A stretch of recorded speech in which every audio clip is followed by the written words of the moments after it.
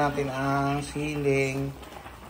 Aba, ayan. So, ayan. Complete ng ating bulalo. Ang sarap nito. Ayan. Isang lambot. Wow. Kain tayo.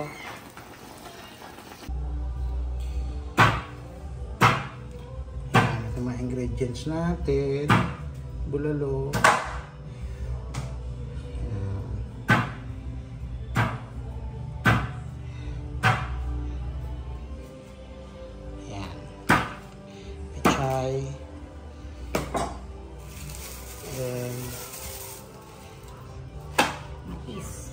Mais.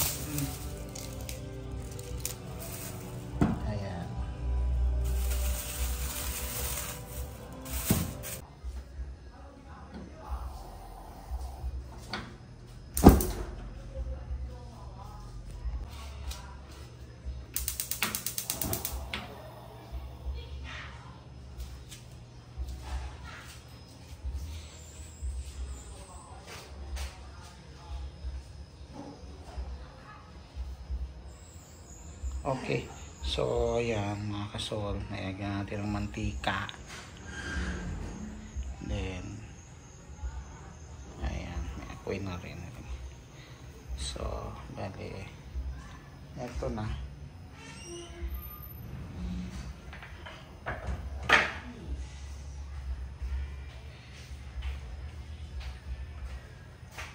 Lagyan natin ang bawang. Yan, bawang.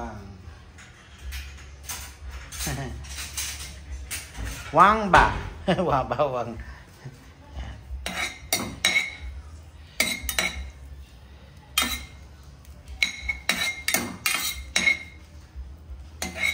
tay na quên mà pula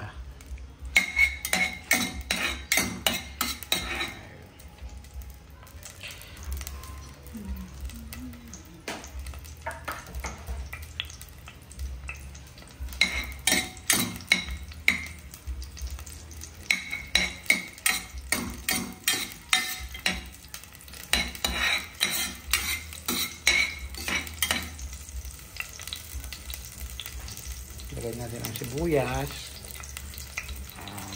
Ah, pwede natin pumula yan. Sibuyas.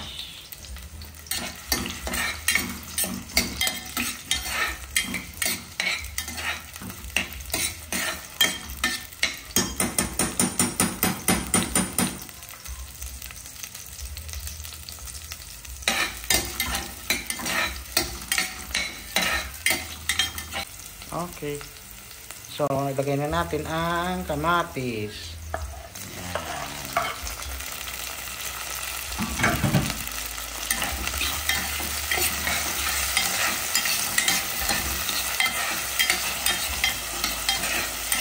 Ito muna na yung bawang at sibuyas. Okay.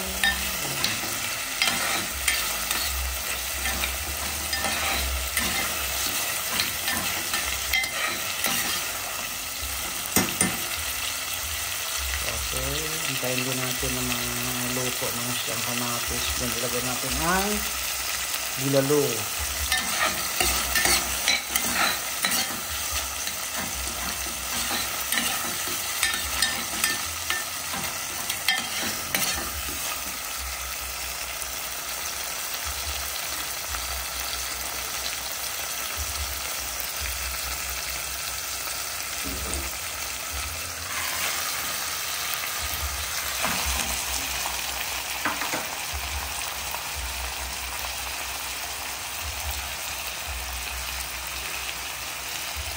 So, yan. Okay.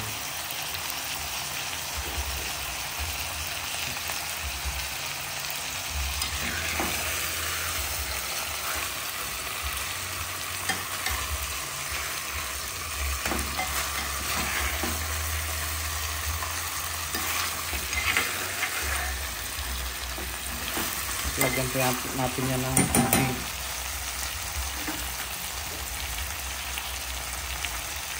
So mga kasol, ayan na. Bago ilalagay natin ang paminta. Then, ayan. eh, anahin uli, haluin uli. Mm. Mm.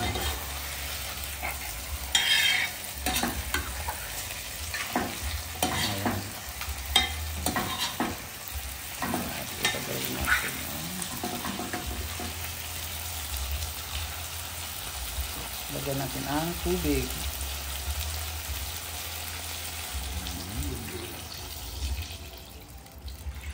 Antay natin yung kumulo at lumambot.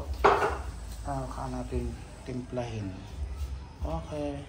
Yan mga kasol, ito na ang ating bulalo. Bali, kumukulo na. So, antayin natin yan na, na lumambot. At la, ilalagay natin ang mga ingredients na ano tawag na dito? Yung mais. Lagay natin ang mais. Mga kasol.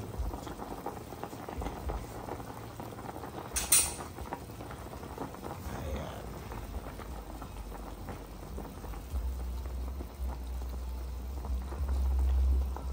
Yan. Sarap niyan. Nakakasol. Oh. Tignan mo naman. So,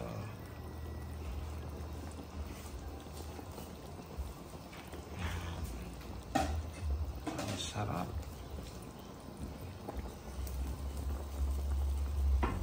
Okay, antayin natin ulit na ano, kumulo uli at lumambot ng gusto. At ilalagay natin ang pechay.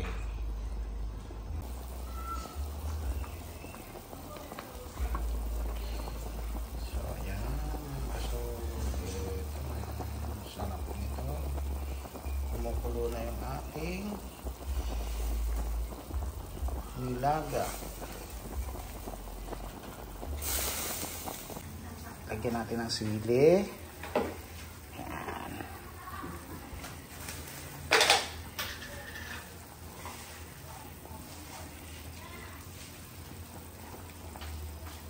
Ah, sumarap lalo.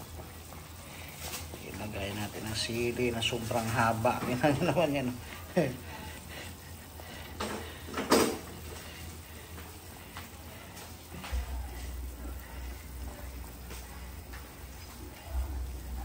Nilagyan pa na namin ng asin.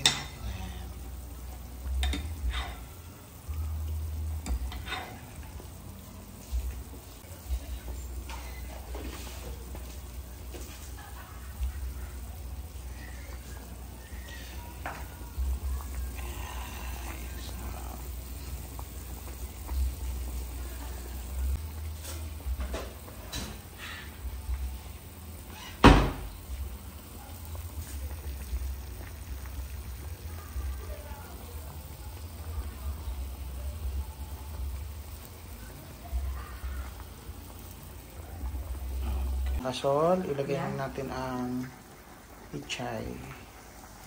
Yan. Wow. Yan.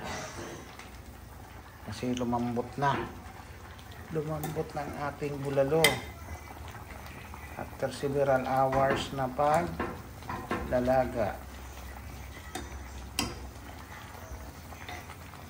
Ang sarap niya.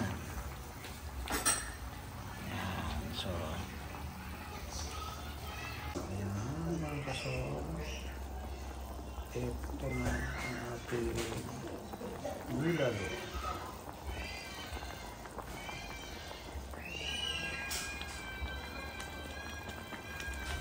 natin ang siling Aba, ayan. So, ayan.